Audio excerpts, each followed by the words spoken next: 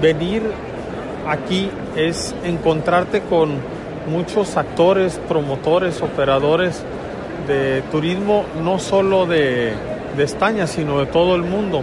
Entonces es un buen punto, un buen espacio de, de encuentro para buscar y hacer acuerdos, negocios, amarres, precisamente pues para llevar más inversión o gente, turismo a, a los distintos destinos turísticos de Sinaloa.